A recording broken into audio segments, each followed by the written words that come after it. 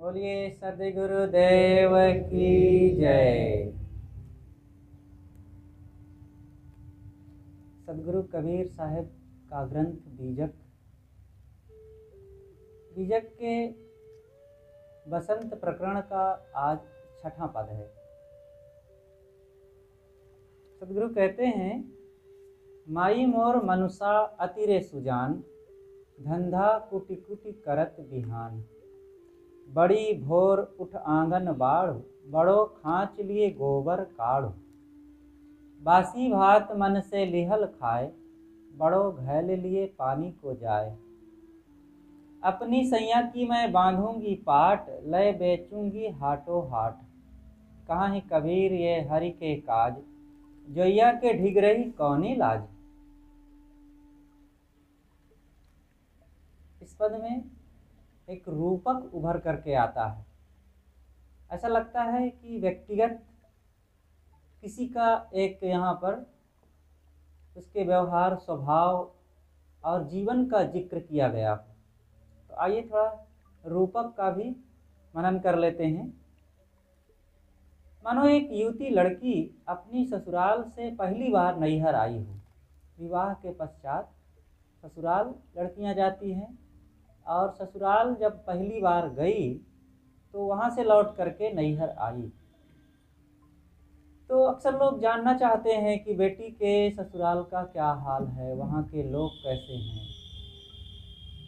अक्सर माँ पूछती है विशेष रूप से तो माँ ने पूछा, और माँ ने लड़की के पति के बारे में पूछा कि बेटा, तुम्हारे पति कैसे हैं? तो उसने बताया कि, हे माता, मेरे पतिदेव बड़े समझदार हैं। वे आधी रात के बाद से ही ढेंकी से धान कूट डालते हैं और धान कूटते कूटते ही उनका सवेरा होता है।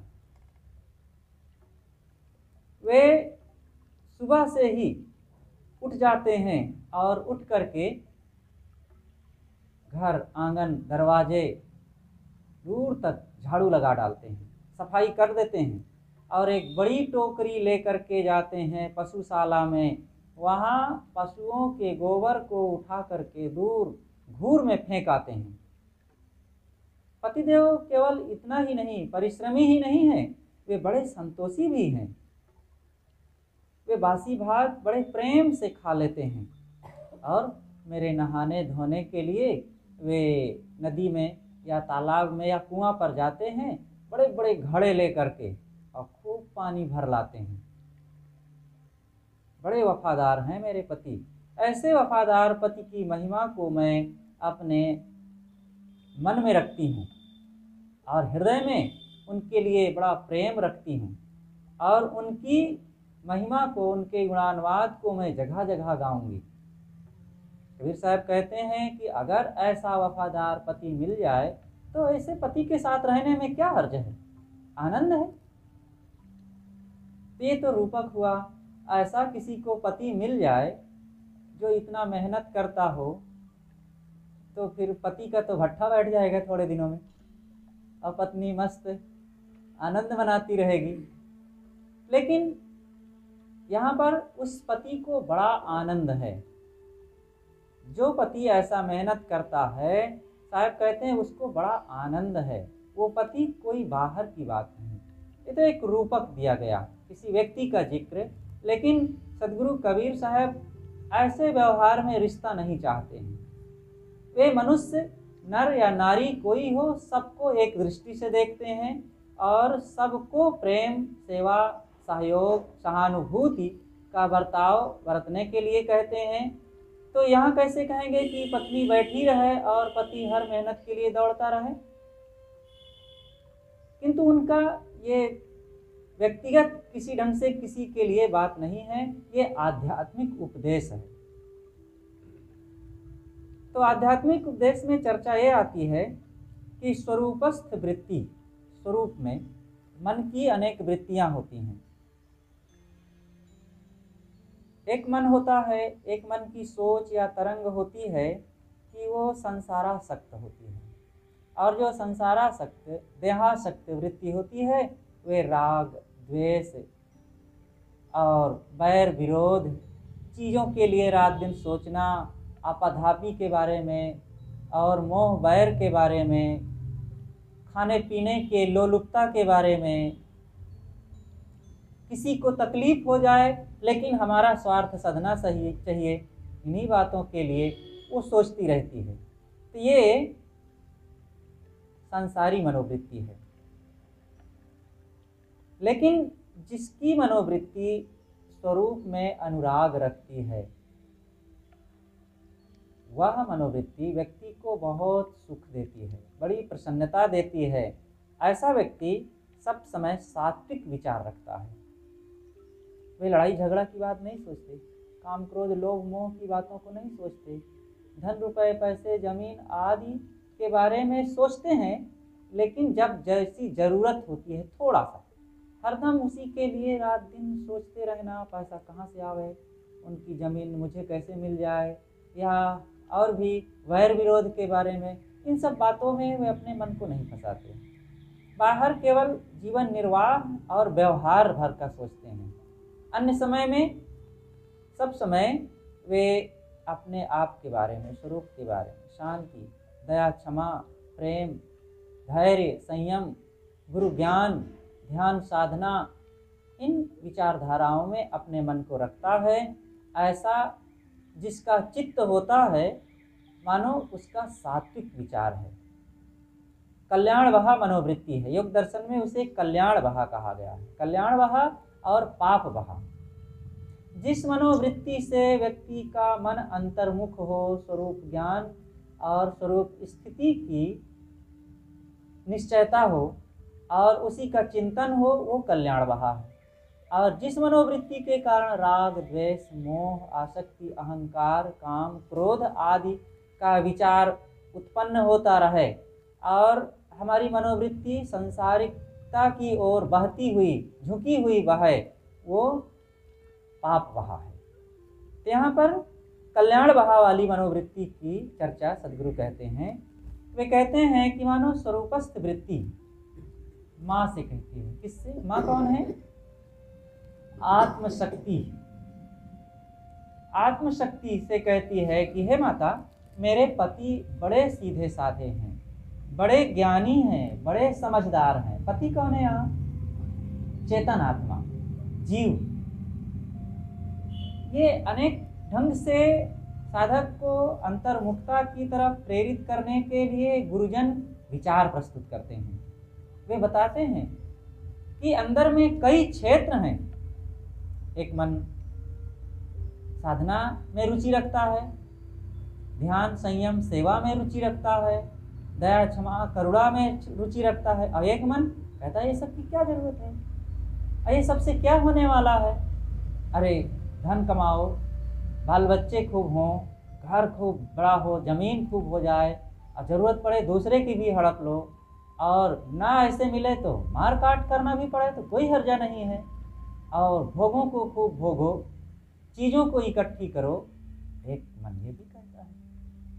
लेकिन ये करने का फल भय अशांति, असंतोष, तृष्णा और दुख, मानसिक दुख बढ़ते जाएँगे। ये अंदर में, हमारे अंदर ही कई प्रकार की भावनाएँ हैं, जो हमें ही लूट लेती हैं, ठग लेती हैं, धोखा दे देती हैं। इसलिए इन मनोवृत्तियों को छोड़ देना चाहिए। इनकी उपेक्षा कर देनी चाहिए। इनसे तटस्थ हो जाना चाहिए। लेकिन जो कल्याण बहा है, सात्विक मनोवृत्ति है, उनके प्रति मन में अनुराग होना चाहिए। उनको श्रेय मिलना चाहिए। तो स्वरूपस्थ वृत्ति आत्मशक्ति से कहती है कि, हे माता, मेरे जो पति चेतन आत्मा हैं, वे बड़े ज्ञानी हैं, बहुत समझदार हैं। वे रोज उठ करके क्या करते हैं? धंधा कुटी कुटी करत बिहान। धंधा कुटी कुटी यहाँ कूटने के लिए बार बार कहा गया है कि वे कूटते हैं? सुबह से उठ करके धान कूटते हैं। धान के लिए नाम नहीं आया है, लेकिन धान को ही कूटा जा सकता है। और धान में एक और अर्थ समाया है, छिलका और चावल। धान से ही खाद्यान्न सामग्री मिलती है, लेकिन धान को नहीं खाया जाता। धान को कूट करके उसमें एक आसार तत्व भूसी होता है, भूसी को निकाल करके फिर चावल प्राप्त किया जाता है और चावल को खाया जाता है। तो वही बात साहब यहाँ कहते हैं कि जो साधक, चेतन चेतन जीव व्यक्ति ही तो साधक होता है तो वो स्वरूपस्थ वृत्ति कहती है कि ज्ञानी साधक, समझदार साधक सुबह से उठ करके वो धान कूटता है। मतलब साधना करता है।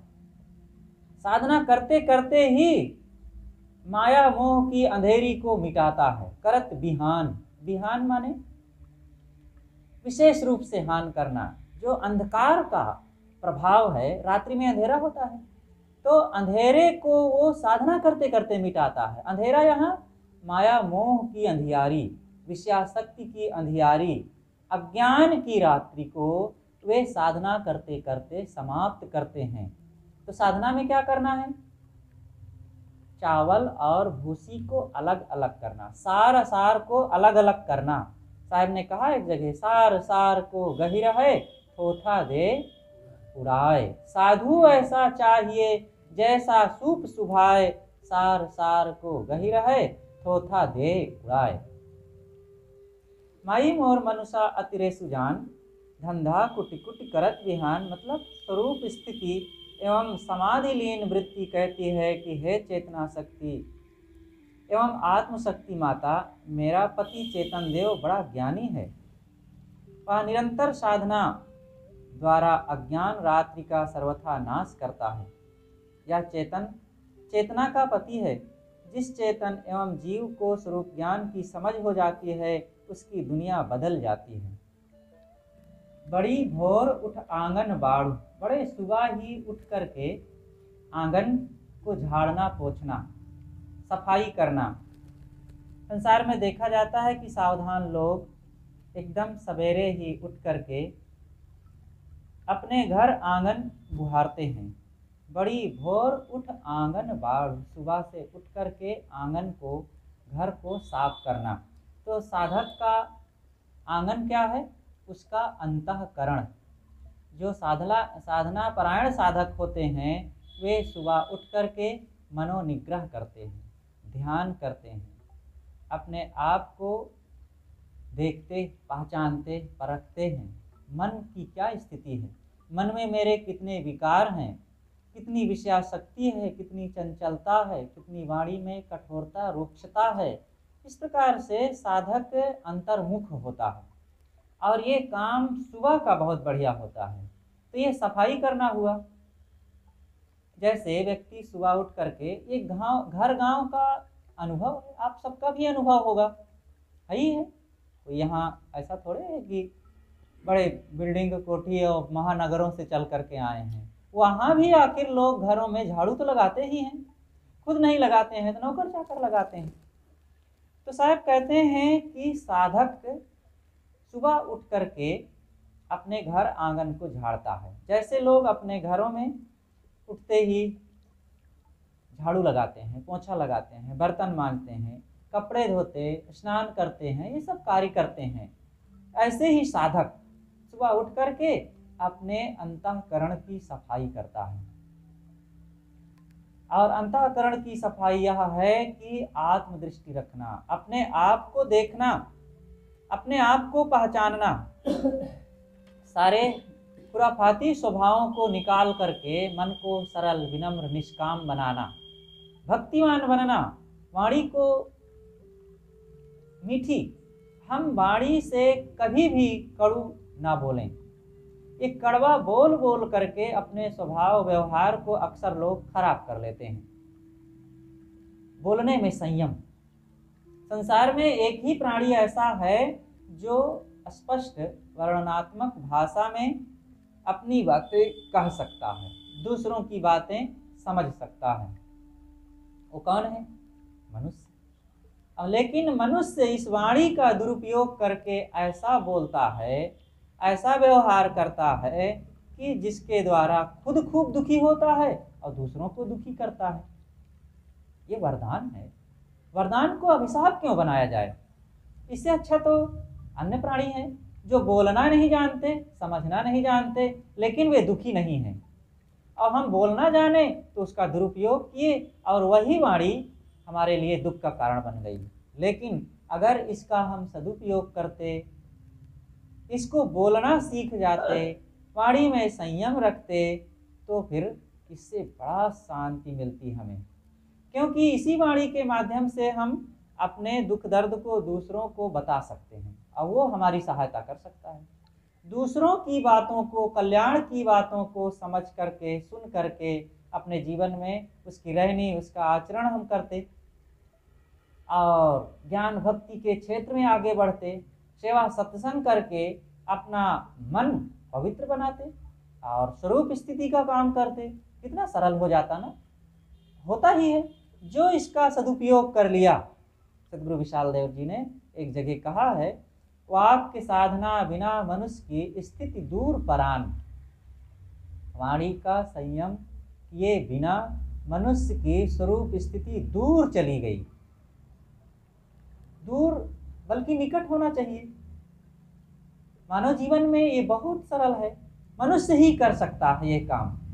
लेकिन जिसने वाणी का असंयम किया तो इससे उसकी शांति, उसकी स्थिरता, मन की पवित्रता वो दूर हो गई। एक व्यवस्था है ये, सिस्टम है मन का।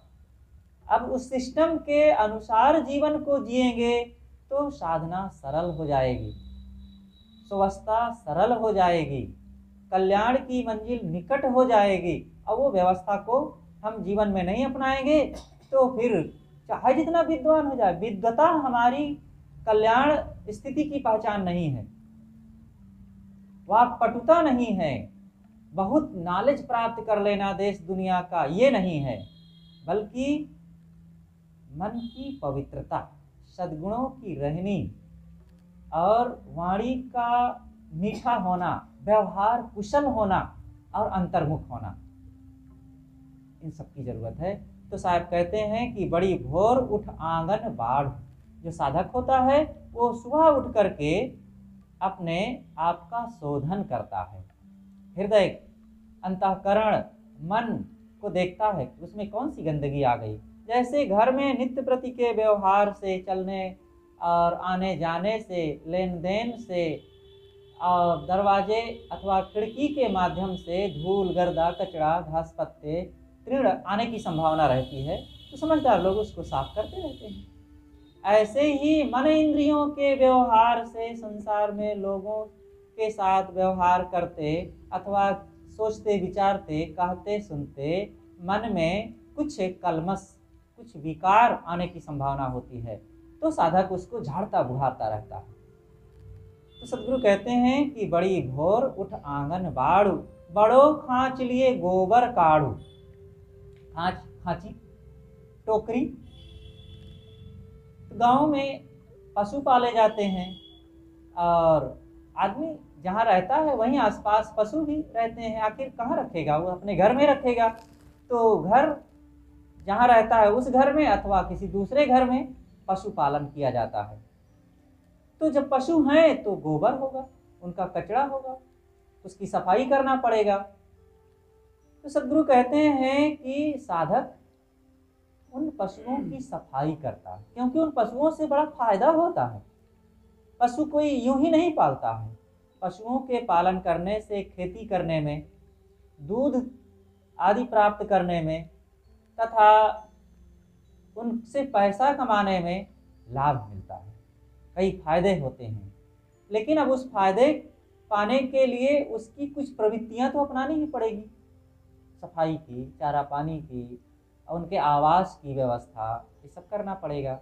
वो आत्मस्थ वृत्ति कहती है कि मेरे चेतन देव, आत्मदेव रूपी जो पति हैं, बड़े समझदार, ज्ञानी हैं तो वे बहुत बुद्धिपूर्वक सूझबूझ पूर्वक जीवन का व्यवहार करते हैं। वो व्यवहार यही है कि सबसे पहले तो वो सुबह उठ करके आँगन, घर, दरवाजे को बुहार लेते हैं और फिर पशुशाले में भी जा करके बड़ी टोकरी लेकर के गोबर आदि को भी साफ़ करके फेंक देते हैं दूर घूर में। तो यहाँ पर टोकरी क्या है और गोबर क्या है? फेंकना क्या है? कौन फेंकता है? साधक। साधक की मनोवृत्ति। वो देखता है कि मेरे अंदर भी ये पाँच ज्ञानेन्द्रियाँ रूपी पशु हैं। जतन बिन मृगन बाड़ी उजारा, साहब का एक पद है। तो ये मृगा कौन है? इंद्रियाँ? यही तो पशु हैं। तो ये इंद्रियों के व्यवहार में कुछ मल इकट्ठा होता है। तो साधक टोकरी लेकर के जाता है। कौन सी टोकरी? वो टोकरी है जिज्ञासा की। जिज्ञासा भाव, श्रद्धा भाव की। मन में पात्रता होनी चाहिए। बिना पात्रता के हम कुछ नहीं प्राप्त कर सकते। और गोबर, वो कौन सा गोबर है? विषया शक्ति का गोबर। गंदगी, इंद्रियों में इंद्रिय और विषय। कितनी इंद्रियाँ हैं? पाँच इंद्रियाँ हैं। वैसे तो दस हैं, लेकिन पाँच की चर्चा यहाँ पर हम करेंगे। ज्ञान इंद्रियाँ। पाँच ज्ञान इंद्रियाँ, पाँच कर्म इंद्रियाँ। तो इन ज्ञानेन्द्रियों के माध्यम से, ये ज्ञानेन्द्रियाँ पाँच विषय, पाँच इंद्रियाँ हैं तो पाँच विषय हैं, सबके अलग अलग विषय तो इन विषयों में जब, जहाँ विवेक पूर्वक व्यवहार न किया गया तो वहाँ पर उसके दोष उत्पन्न होते हैं। तो उन दोषों को साधक साफ़ करता रहता है। वही गोबर है, वही मल है, गंदगी है तो उसको साधक अनासक्ति की टोकरी लेकर के अनासक्ति कहें, सदपात्रता कहें, ये सब टोकरी है। तो अनासक्ति की टोकरी लेकर के जाता है और विषयाशक्ति के गोबर को काढ़ करके, काढ़ना मतलब पूरी तरह से पोंछ करके, उठा करके साफ़ कर देता है और दूर ले जा करके फेंक देता है। मतलब है कि साधक का ये कर्तव्य है कि वो सब समय अपने मन को देखता है, मनोदृष्टा। होना। और वो विषयाशक्ति से निवृत्ति प्राप्त करने के लिए सब समय सावधान रहता है। इस मलिनता का त्याग करने वाला परम शांति को प्राप्त करता है। मन में जैसे घर में गोबर आदि का पड़े रहना घर की गंदगी है, ऐसे मन में विषयाशक्ति का, अज्ञान का मल पड़े रहना और राग द्वेष का मल पड़े रहना ना बड़ा दोष है, कितनी गंदगी है। और इस गंदगी से बहुत लोग प्रेम करते हैं। और एक तरफ़ कहते हैं कि हम बहुत सफ़ाई स्वच्छता वाले हैं। और मन में अगर गंदगी भरी हुई है तो क्या सफ़ाई है? इसलिए शांति इच्छुक को चाहिए कि बाहर वो व्यवहार में काम करते हुए जहाँ रहता है, घर, परिवार, वो तो ठीक है, साफ़ करना ही है। लेकिन उससे ज़्यादा अपने अंतकरण को, अपने हृदय को, अपने मन को साफ़ करता है।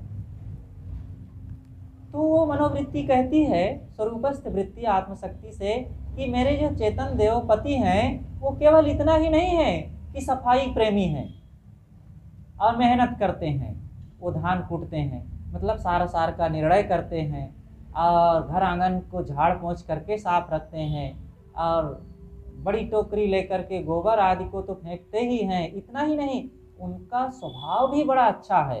बासी भात मन से लिहल खाए। जब वे सफ़ाई आदि से करके सब काम से छुट्टी पाते हैं तो फिर कुछ खाना पीना चाहिए उनको। तो जलपान में सुबह से बासी भात रहता है, और जा कर के मस्त होकर के मन से प्रेम पूर्वक खा लेते हैं। उनके लिए ऐसा नहीं कि सुबह से चूल्हा गरमाओ और फटफट करो, बढ़िया ताज़ा भजिया पकौड़ी बनाओ, कुछ नहीं। भात रखा रहता है, पहले वाले दिन का बना हुआ, और उसी को वे खा लेते हैं प्रेम से। ये सहज गाँव का अनुभव है। हम लोग भी खूब खाए हैं। और ऐसा करते ही हैं लोग। शाम का बचा हुआ भोजन रखा रहता है तो खा लिया जाता है। थोड़ा सा जलपान रूप में और ख़त्म हो जाता है। चीज़ का सदुपयोग हो जाता है। तो ये तो खैर चीज़ की बात है। कोई ना भी खाए, कोई बात नहीं। किंतु यहाँ जो बासी खाने की बात है, वो अलग अर्थ है। उसका बड़ा गहरा अर्थ है। बासी का मतलब होता है पूर्व का पहले का बना हुआ भोजन। तो पहले के किए हुए कर्म, वो आज प्रारब्ध रूप में सामने आएँगे। सुख दुख के रूप में आएँगे और उसको जो साधक बिना शिकायत किए, बिना चिंता विलाप किए, बिना किसी की निंदा किए, प्रेम से स्वीकार लेता है। क्यों किसी की निंदा करेगा? ये अपना कमाया हुआ है। तो उसको हम स्वीकारें। मतलब प्रारब्ध यात्रा को सुख दुख जो भी उसके जीवन में है, स्वीकार भाव पूर्वक प्रसन्नता से उसमें अपने जीवन को व्यतीत करना, यह है बासी भात को प्रेम से खाना। प्रारब्ध। तीन प्रकार के कर्म होते हैं। एक होता है क्रिमाण और दूसरा होता है प्रारब्ध और तीसरा होता है संचित। तीन प्रकार के कर्म होते हैं।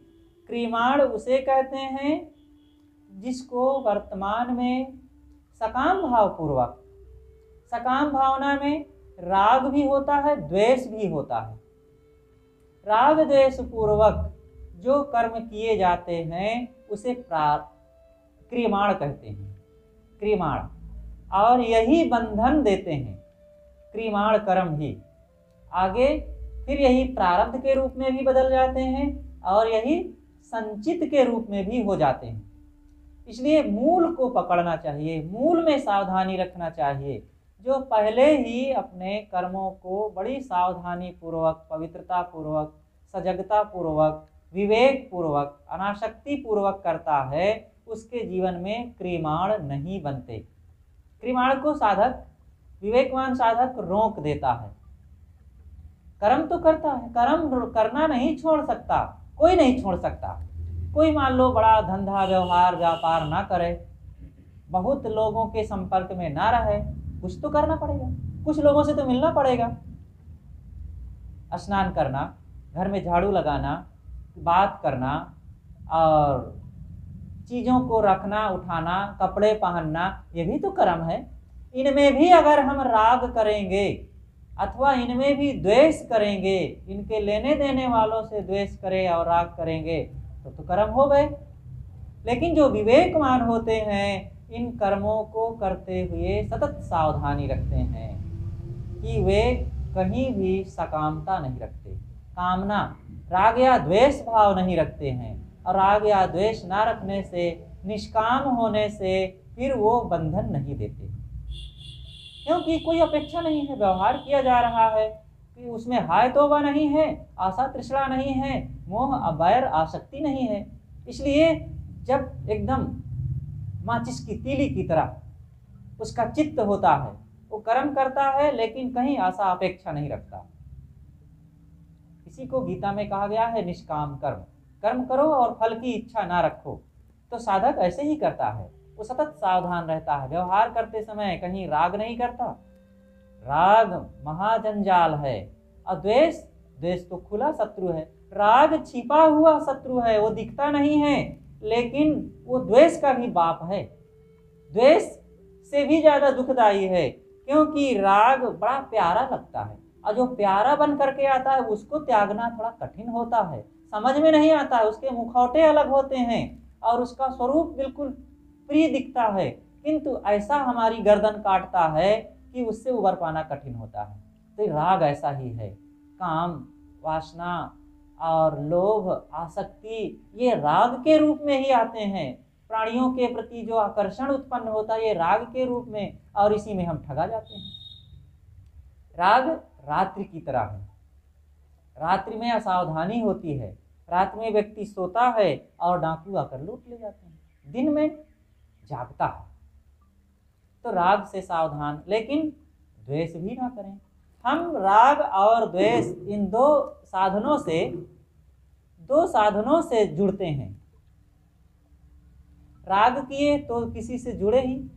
वो समझ में आता है कि उनके पास बैठना, उठना और बोलना, बतियाना और लेन देन करना ये राग हो रहा है। समझ में आता है? उसमें हमारा चित्त फंसा है, उसको देखे बिना, सुने बिना, उसके पास गए बिना, उसको जाने बिना, सुनाए बिना अपनी बात न रह पाना, यही है राग।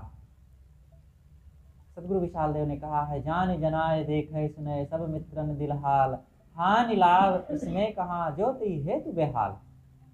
हम अपनी बात सुना दें, उसकी बात सुन लें, अपने को दिखा दें, उसको देख लें और उसके पास बैठ जाएँ, वो हमारे पास आके मिल ले। तो इस प्रकार से मन होता है कि जो प्यारा है, प्रेमी है, उसको हम देखें सुने, मिलें उससे। तो सदगुरु कहते हैं कि अगर ये सब ना हो तो क्या हर जाए? क्यों उसके बिना तुम बेहाल हो रहे हो? कौन सी व्यक्ति और वस्तु ऐसी है जिसके बिना तुम्हारा काम ना चले? ऐसा कोई नहीं है। जीव अकेला है, उसको अकेले रहने दो। इसीलिए कहा जाता है, असंग स्थिति को अपनाना। असंगो अयम पुरुष। मैं असंग अकेला हूँ और चेतन पुरुष हूँ। अपनी उस दशा में हम ठहरें। तो साधक, ज्ञानी साधक राग नहीं करता, अद्वेष नहीं करता। द्वेष करने की ज़रूरत नहीं है। बैर विरोध करना, नफरत करना और किसी को छिन्न करने की भावना, क्यों ऐसा करते हैं? हमारे मन में किसी प्रकार का अहम है, कोई मन में आसक्ति है, कुछ पाने की कामना है, मान सम्मान नहीं, रुपया पैसा पाने की, मान सम्मान पाने की कामना है। उनसे हम नफरत करते हैं तो इसका मतलब यही है कि वे मेरे प्रेम में, मेरे में जहाँ राग करता हूँ, चाहे बात हो, चाहे वस्तु हो, चाहे व्यक्ति हो, उस राग वाली बात में ये बाधा उत्पन्न करता है, इसलिए इससे मैं द्वेष कर रहा हूँ। अगर कोई द्वेष करता है तो निश्चित है वो कहीं राग ज़रूर किया होगा। अब कहीं राग कर रहा है तो निश्चित है वो द्वेष करेगा। ये दोनों एक सिक्के के पहलू हैं, एक के बिना दूसरा रह ही नहीं सकता है। इसलिए साधक पहले से क्रियमाण कर्मों को रोकता है। और क्रियमाण कर्म रोकने का मतलब है राग द्वेष से ऊपर उठना। बहुत सूक्ष्म ये रोग हैं। इसकी चिकित्सा जब तक सत्संग में जाकर संतों गुरुजनों के विवेक युक्त ज्ञान को नहीं अपनाएँगे, कोई नहीं कर सकता है संसार में। और इसी आग में सुलगते हैं लोग, लेकिन पता नहीं चलता है कि कैसा रोग है। और इसी मनोरोग में ज़िंदगी बीत जाती है, कभी शांति नहीं मिलती है। लेकिन जो विवेकवान साधक होते हैं, वे राग का त्याग करते हैं। मतलब वे जब राग द्वेष को त्याग कर दिए, क्रिमाण को रोक दिए क्रिमाण कर्म, बंधनदायी कर्म उनसे होते नहीं। अब रही बात है कि दूसरा कर्म है प्रारब्ध। प्रारब्ध है पूर्व का कमाया हुआ सुख दुख, जो कुछ आ जाता है। आज जैसे हम वैसा कर्म नहीं किए। कई लोग कहते हैं ना कि अरे भाई, वो बच्चा देखो बीमार हो गया, ऐसा भयानक रोग लग गया, सांप काट लिया, बैल मार दिया, पेड़ गिर गया गिर गया उसके ऊपर। तो कोई जन्म में पाप नहीं किया क्यों ऐसा हो गया? तो क्या किया? कोई भगवान ने डाल दिया? अगर भगवान ने किया तो भगवान बहुत बेकार आदमी है। क्यों ऐसा किया? निर्दोष व्यक्ति को किसी ने उस आ, किसी के साथ उसने अभी कोई दुर्व्यवहार किया ही नहीं। बड़ा मासूम निर्मल मन का अभी छोटी सी ज़िंदगी उसकी शुरू हुई है। उसने तो कोई पाप किया नहीं। ऐसा दुख क्यों आ गया? इससे पता चलता है कि पूर्व का कमाया हुआ है। तो ये प्रारब्ध में पूर्व का कमाया हुआ आ जाता है।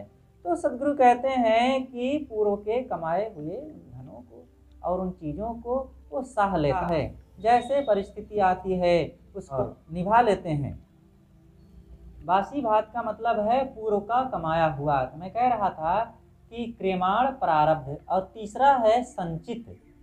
संचित का मतलब होता है कि जो पहले से छिपा हुआ है कर्म तो वो ज्ञान वैराग्य से विवेक द्वारा उसको साधक नष्ट कर देता है। बड़ो घैल लिए पानी को जाए बड़ा घड़ा। गाँव का यह सामान्य अनुभव है कि लोग बड़े बड़े घड़े लेकर दूर कुआँ तालाब झरने आदि से पानी लेने जाते हैं। अच्छी समझदारी ही मानो बड़ा घड़ा है। जिसे लेकर साधक साधु संतों की सत्संग रूपी स्वच्छ सरोवर में जाता है और वहाँ से ज्ञान का पवित्र जल भर भर करके लाता है। बड़ा घड़ा का मतलब है कि समझदारी का बड़ा घड़ा, समझदारी। मन में ऐसी सदपात्रता रूपी घड़ा, श्रद्धा और प्रेम का घड़ा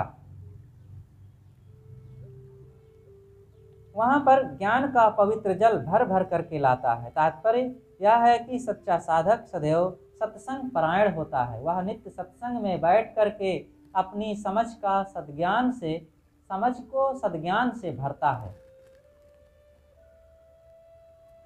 सदज्ञान का पवित्र जल भर भर करके वो लाता है। तात्पर्य है कि सच्चा साधक सदैव सत्संग परायण होकर के वो नित्य सत्संग में बैठता है। और अपनी समझ को सदज्ञान से भरता है।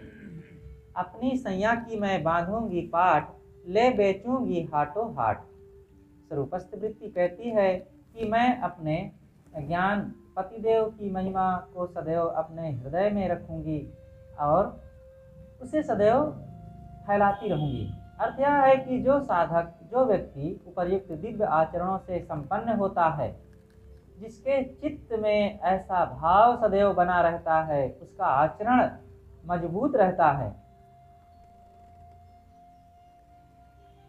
उसकी मनोवृत्ति पत्नी सदैव आनंदित होती है। जिसकी रहनी दिव्य है, उसकी मनोवृत्ति आनंदमय होगी ही। और जिसके ये दोनों हैं, उसकी सुगंधी संसार में फैलती रहेगी। कहाँ कबीर ये हरि के काज जोया के ढिग रही कौनी लाज? ये हरि के काज, हरि का मतलब यहाँ पर ज्ञान। ये ज्ञान की ऐसी रहनी है, ज्ञान ऐसी दशा है कि जिसको प्राप्त करके जोया के ढिग रही कौनी लाज ऐसे देवी के ज्ञान कहता है। ज्ञान किसके पास होता है? चेतन आत्मा के पास। तो चेतन आत्मा कहता है कि जिसके पास ऐसी रहनी है, ऐसा बोध है, और ऐसा उसकी जीवन की दिव्य स्थिति है, जिसकी रहनी दिव्य है, उसकी मनोवृत्ति आनंदमय होगी ही। जिसके ये दोनों हैं, उसकी सुगंधी संसार में फैल, फैलेगी ही। कहाँ कबीर या हरि के काज जोया के ढिग रही कौनी लाज ऐसे हरि ज्ञान के पास रहने में भला कौन सी लज्जा है? ऐसे स्वरूप बोध, स्वरूप ज्ञान, आत्मज्ञान को अपनाने में भला कौन सा दोष है? कौन सी लज्जा है? कौन सी व्यवस्था है? इसलिए साधक को अंतर्मुख होकर के आत्मशक्ति के साथ निमग्न होना चाहिए, स्वरूप के साथ अनुराग रखना चाहिए। तो यही तो मनोवृत्ति कहती है। स्वरूप की ओर बहने वाली जो मनोवृत्ति है चित्त वृत्ति है उसकी यहाँ पर साहब चर्चा करते हैं कि स्वरूपस्थ वृत्ति मानो कहती है, आत्मशक्ति रूपी माता से कि मेरी जो माता है, वो सब समय मुझे सुख देने वाले हैं। इसलिए साधक को बहिर्मुखता से उठ कर के अंतर्मुख हो करके अपने कल्याण का, अपनी शांति की तरफ़ विचार करना चाहिए और सब तरफ़ से निरपेक्ष होकर, तटस्थ होकर के जिसने अपने आप को पहचाना, स्वरूप की तरफ़ अनुराग बढ़ाया, उसी का जीवन धन्य होता है। तो इस ढंग से सदगुरु ने इस पद को बड़ा मनोवैज्ञानिक ढंग से विस्तृत चर्चा किया है कि माई मोर मनुषा अतिरे सुजान। जब तक विवेकवान सदगुरु संतों के द्वारा उनकी चर्चाएँ, उनकी टीका व्याख्या और उनके गुरुमुख वाणी से नहीं सुना जाता, तब तक सहज अपने मन से कोई उसकी चर्चा करे और उसको सुने, कहे तो विशेष समझ में नहीं आता है। तो साहब कहते हैं, माई मोर मनुषा, अतिरे सुजान, धंधा कुटी कुटी करत बिहान, बड़ी भोर उठ आँगन बाड़ू, बड़ो खाँच लिए गोबर काड़ू। बासी भात मन से लिहल खाए, बड़ो घायल लिए पानी को जाए, अपनी सैया की मैं बांधूँगी पाठ ले बेचूँगी हाटो हाट, कहाँ कबीर ये हरि के काज जोया के ढिग रही, कौन इलाज? इस प्रकार ये रूपक और इसका बहुत मनोवैज्ञानिक चित्रण सदगुरु कबीर ने खींचा है। तो आज हम इस पर चर्चा किए। आप सब लोगों ने काफ़ी देर से हमारी बातें सुनते रहे और सदगुरु कबीर के इस बड़े ही गहन गंभीर विचार का मनन किए। इसी प्रकार और भी आगे मनन करते, सुनते, सत्संग में निरंतर गोते लगाते रहना है। क्योंकि सत्संग ही, साहिब ने जो कहा है, बड़ो घायल लिए पानी को जाए तो जो अंतकरण को पवित्र बना करके और पात्रता अपना करके विषयाशक्ति को त्याग करके, श्रद्धावान बन करके सत्संग का निरंतर सेवन करता है, उसी की तो मनोवृत्ति स्वरूपाकार होगी। और स्वरूपाकार मनोवृत्ति के बिना व्यक्ति कभी सुखी हो नहीं सकता है। विषयाकार हम बने रहें और विषयाकार बने रहने में कभी भी चित्त की स्थिरता, मन की शांति और जीवन में सुख के दर्शन हो ही नहीं सकते हैं। इसलिए देह से आत्मा की ओर चलें, स्वरूपाकार वृत्ति को पहचाने। कि देहाकार वृत्ति कभी भी शांति लेने नहीं देती है। तो आज की सत्संग सभा यहीं पर समाप्त करते हैं। बोलिए, सदगुरुदेव की जय।